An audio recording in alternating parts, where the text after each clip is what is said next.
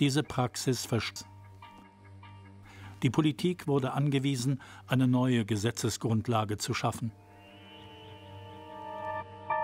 Solange müssen alle gesammelten Daten von den Providern gelöscht werden. Gerade im Bereich der Kinderpornografie im Internet konnte so ein gefährlicher, rechtsfreier Raum entstehen, warnt der Präsident des Bundeskriminalamtes. Deshalb waren wir ganz überrascht, dass die Politik sich bis heute Zeit gelassen hat, noch keine entsprechende Regelung äh, zu erlassen.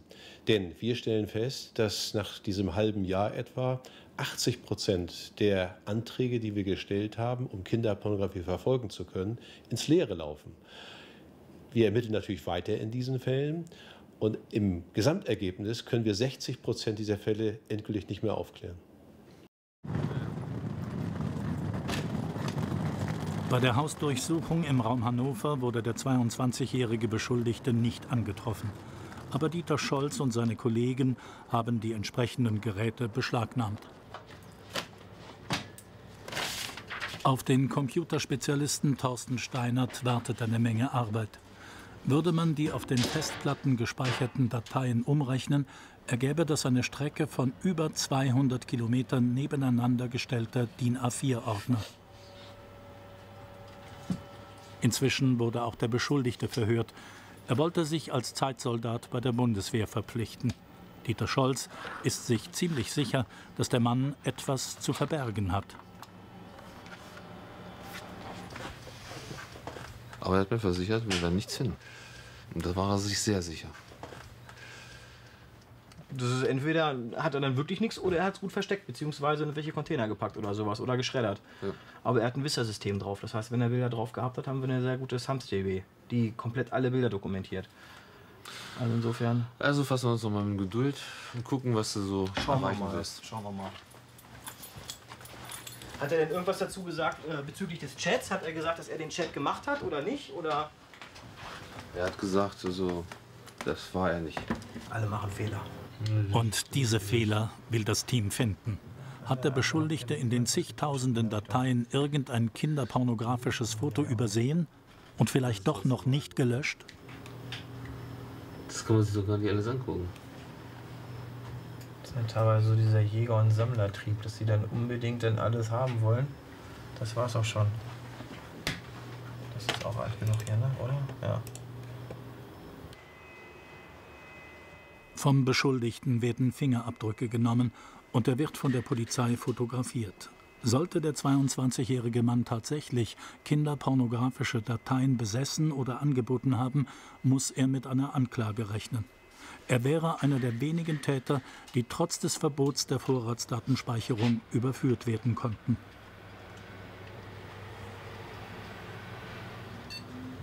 Ich habe ja nun auch einen Eid drauf geschworen, strafbare Handlungen zu erforschen. Und natürlich versuche ich auch, äh, alle Möglichkeiten, die ich als Ermittler habe, auszuschöpfen. Und wenn dann einem da doch irgendwo Steine in den Weg gelegt werden, dann muss man das sportlich nehmen. Man muss auch mit Niederlagen leben.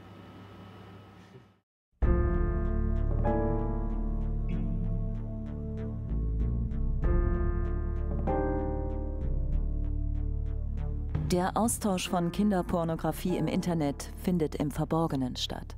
Isoliert und zurückgezogen oder mit der Maske der Gutbürgerlichkeit. Im Internet findet man Gleichgesinnte. Niemand im persönlichen und beruflichen Umfeld ahnt etwas.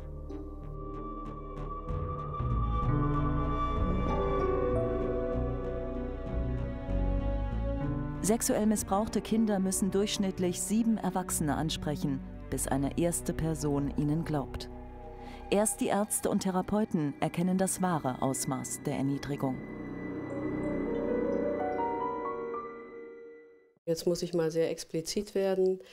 Äh, nach und nach weiten sie den Schließmuskel äh, im Po des Kindes, nach und nach äh, weiten sie die Vagina, damit sie immer weiter eindringen können. Ähm, sie kommen dann auf die Idee, als wäre es ihre erste Idee, sie könnten auch mal Fotos machen. Sie sind vorher wahrscheinlich mit hoher Wahrscheinlichkeit im Internet gewesen, haben mitgekriegt, dass man dort äh, Dateien bekommen kann, wenn man selber welche reinstellt, sind in diesen Newsgroups auf den schwarzen Brettern gewesen, haben getauscht und ähm, sie können sozusagen dann auch so ein Werbevideo von ihrem eigenen Kind oder von einem Nachbarskind, was sie gerade haben, äh, nehmen und reinstellen. Eine Grundschule in Ahrensburg in Schleswig-Holstein. Sechs- bis zehnjährige Kinder sind am meisten von sexuellem Missbrauch betroffen. Deshalb sollen sie so früh wie möglich über die Gefahren im Internet aufgeklärt werden.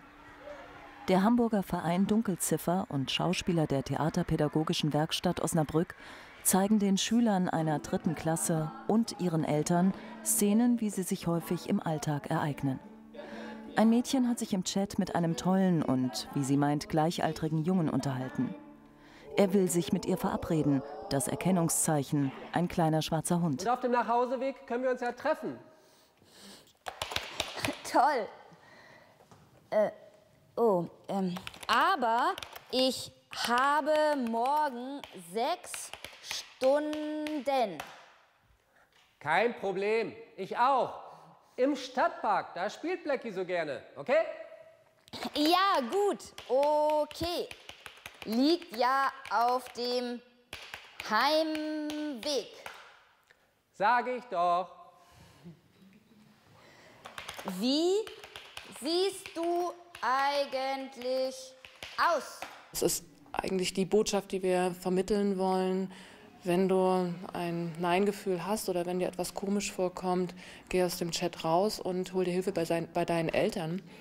Und dann ist natürlich auch wichtig, dass die Eltern dafür erreichbar sind und dass das Vertrauensverhältnis da ist. Blackie! Blackie! Urs! Hey, wo seid ihr? Hier hinten. Wo?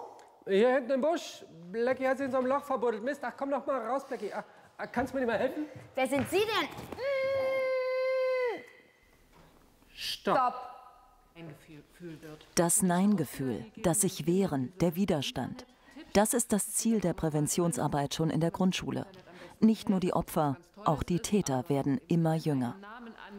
Und wir sehen, dass gerade die gefährdeten Kinder und Jugendlichen, gerade die Jungs, äh, in einem hohen Ausmaß, ähm, so um die 20 Prozent, doch sehr regelmäßig, mehrfach die Woche, auch härtere Pornos gucken, auch Kinderporno äh, immer wieder gucken. Und das ist sozusagen Nachwuchs für die Täter.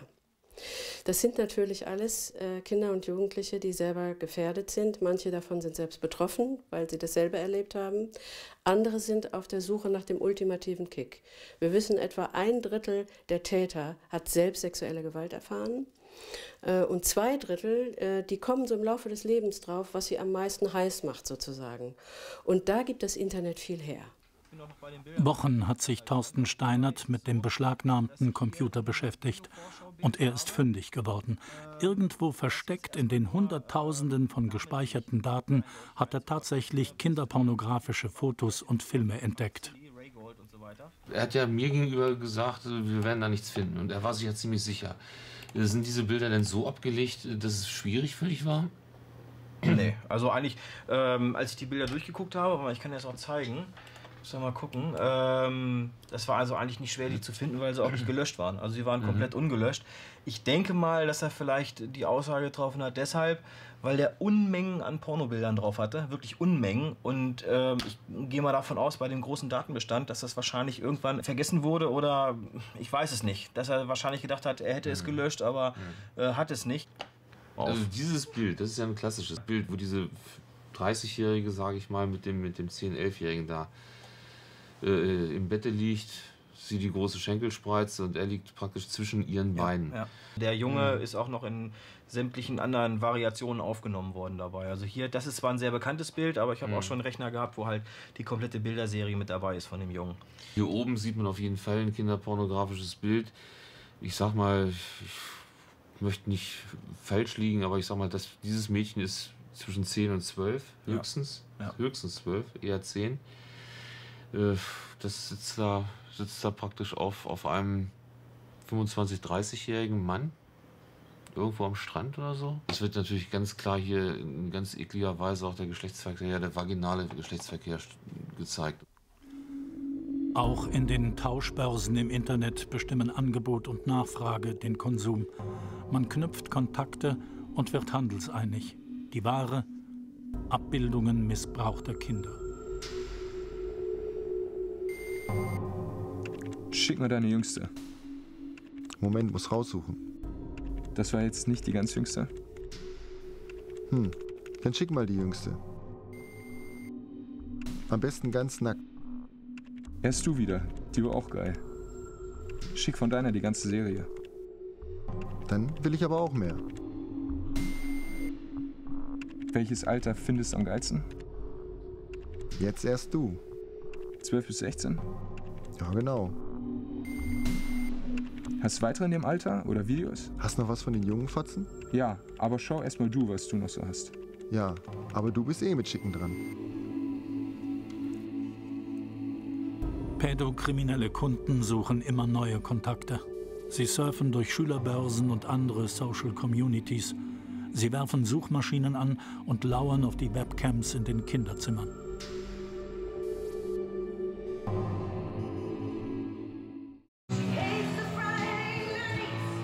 Der Verein Dunkelziffer in Hamburg veranstaltet regelmäßig Seminare für Richter, Staatsanwälte und Kriminalbeamte wie Dieter Scholz.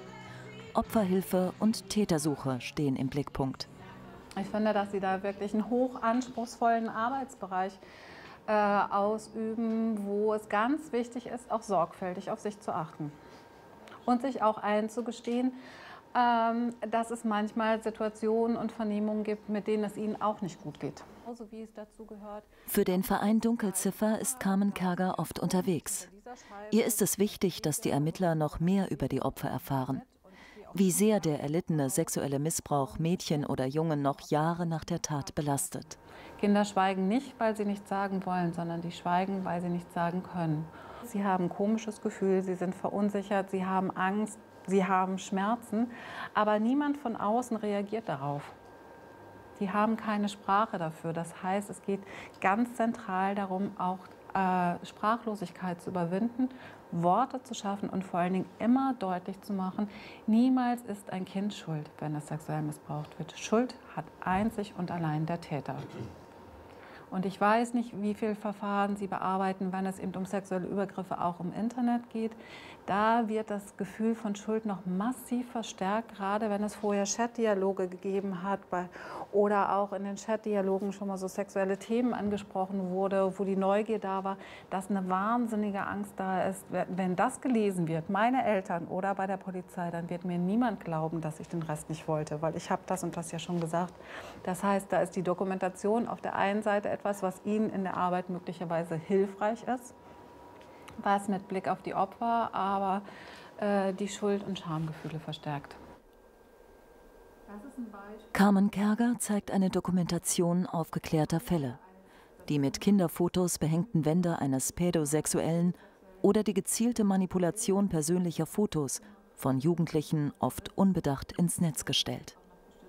Hier ist ein Beispiel von Fotos, die in Profilen verwendet worden sind, eine 13- und 14-Jährige, wo der Beschuldigte die Fotos runtergeladen hat, in einem Bildbearbeitungsprogramm eingefügt hat und dann den Kopf dieser Jugendlichen ausgeschnitten hat, um sie auf das Bild einer erwachsenen Frau zu setzen, sodass dann letztendlich der Körper der Frau mit den geöffneten Beinen und der Kopf des Mädchens als neues Bild entstanden ist und so auch wieder im Internet verbreitet wurde. Das ist ein Problem, das gibt es auch anderswo. Das ist das sogenannte Weggucken. Das Weggucken, wenn jemand auf dem Bahnsteig verprügelt wird, das Weggucken, das Weglaufen, das Nicht-Einschreiten. Und genau dasselbe Phänomen haben wir auch im Internet. Und hier hier darf man halt nicht weggucken. Hier muss man immer wieder Anstöße geben, dass sich das Bewusstsein in der Bevölkerung, das Bewusstsein unserer Politiker, dass sich das verändert. Lange glaubte die 15-jährige Marie, das Trauma in ihrer Kindheit überwunden zu haben. Den sexuellen Missbrauch begangen von einem Nachbarn. Doch dann kam alles wieder hoch. Marie musste in eine Klinik. Ich hatte ja immer schon so Trennungsängste und dann war da noch der Druck in der Schule. Ich habe mir nichts mehr zugetraut. Also wenn ich auf die Straße gegangen bin, sobald irgendjemand, ein Jugendlicher kam oder so, habe ich totale Angst bekommen.